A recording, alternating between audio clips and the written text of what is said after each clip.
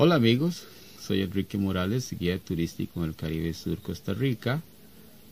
Eh, quiero mostrarles más o menos para aquellos que ni tan siquiera saben dónde queda el Caribe Sur de Costa Rica. Aquí utilizando la página en internet Google Earth Pro.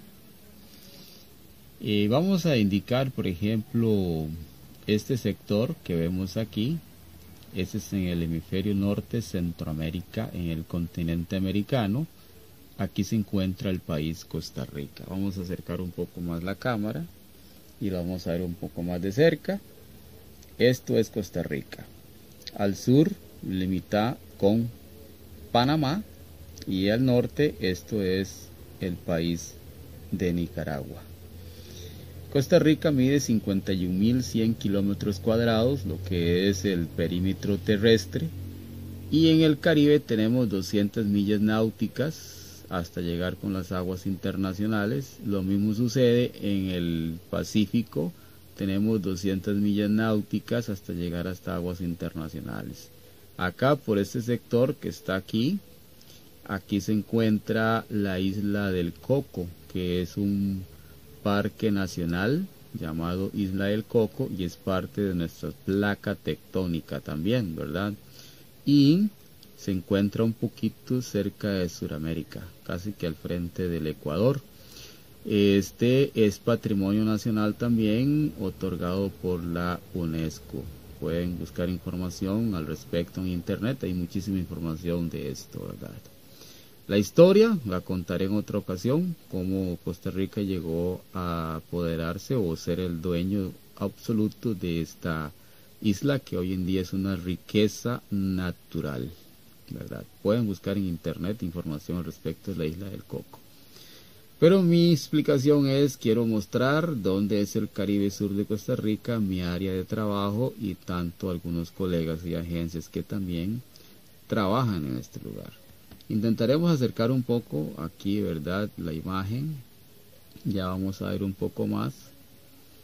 Este, la capital de nuestro país es San José, Costa Rica. Ahí está la gran área metropolitana montada. Aquí la conocemos como la GAM.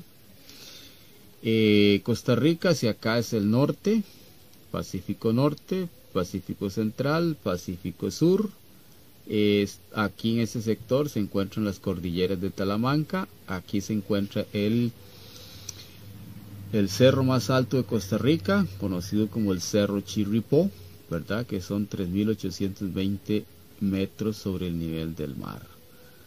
Personas que han visitado, yo no he visitado ese lugar, todavía, ¿verdad? Pero ya algunas personas lo han visitado y dicen que en el pleno verano se encuentra con una espectacularidad que usted puede ver el Caribe y puede ver el Pacífico, ¿verdad?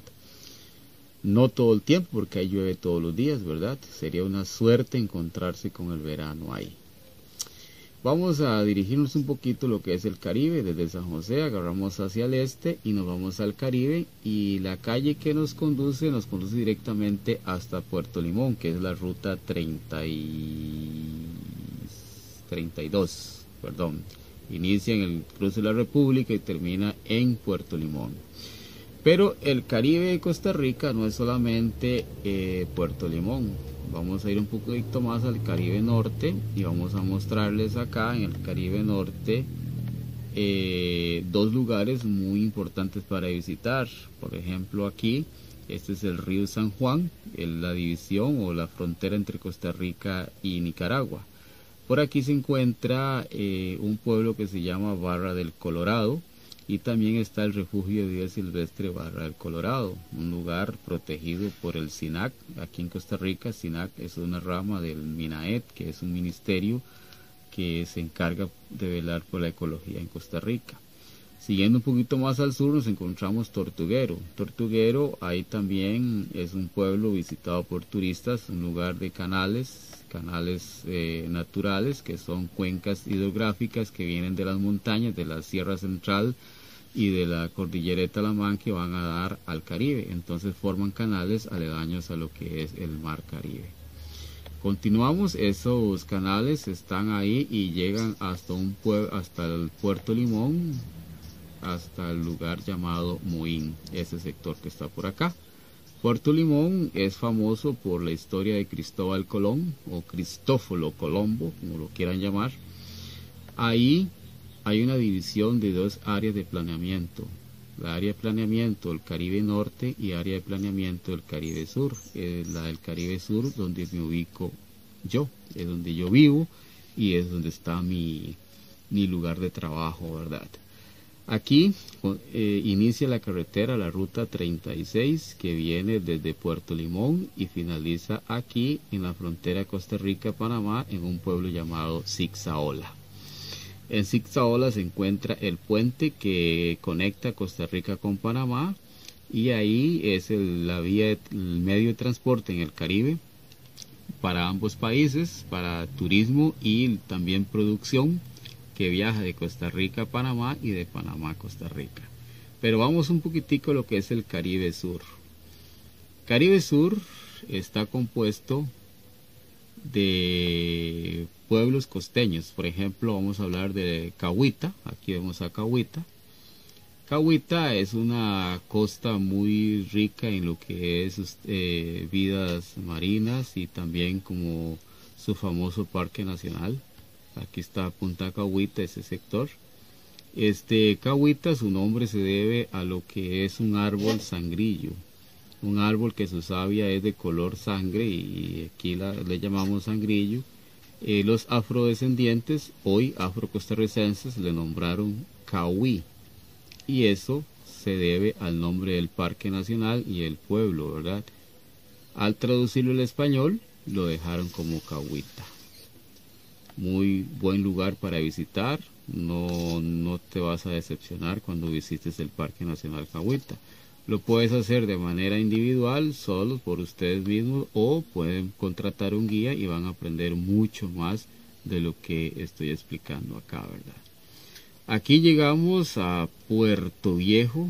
Este es el pueblo de Puerto Viejo. Eh, se puede decir que es el, es el pueblo que tiene mejor economía en el cantón debido a la industria turística y personas que vinieron a invertir y levantaron este pueblo. Hoy en día es un pueblo cosmopolitan de diferentes em, personas de diferentes nacionalidades que tienen su negocio, otros trabajan, otros andan paseando sucesivamente.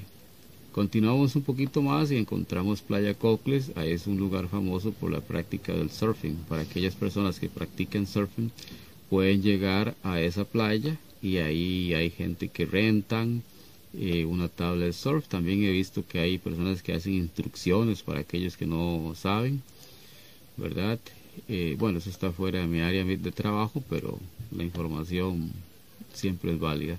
Punta Uva, esta que vemos aquí, aquí hay un bluff, hay una roca grande donde hay un senderito, hay un mirador y también las playas son accesibles para nadar, disfrutar tanto en familia como también turísticamente. Ahí van a encontrar información turística cuando lleguen a ese lugar. El último pueblo donde finaliza la calle, esta es, este es Manzanillo, aquí. Manzanillo es muy excelente, muy bonito, famoso por el refugio de vida silvestre Gandoca Manzanillo, porque está dividido entre dos pueblos, Gandoca que está acá y Manzanillo que está aquí. Y dentro de Gandoca eh, voy a recalcar que existe una laguna muy buena, muy importante para visitar, donde puede ver aves marinas del Caribe de Costa Rica y algunas otras especies que también viven ahí, como mono ardilla, mono congo, mono cariblanco, la oso perezoso, entre otros que puede observar ahí dependiendo de la temporada y cómo esté eh, la situación ecológicamente, pues ahí vas a aprovechar de diferentes formas. Como lo mismo, hay, eh, hay guías que pueden trabajar ahí. Mi persona también lo hace. Entonces, eh, amigos, esto es lo que quería hablar de lo que era el Caribe de Costa Rica. Primero, ubicar dónde era Costa Rica, ¿verdad? Y segundo, enseñarles parte del Caribe de Costa Rica. Espero que el video les haga de, les sirva de mucha ayuda, ¿verdad? Cualquier cosa pueden perfectamente este, ponerse en contacto conmigo.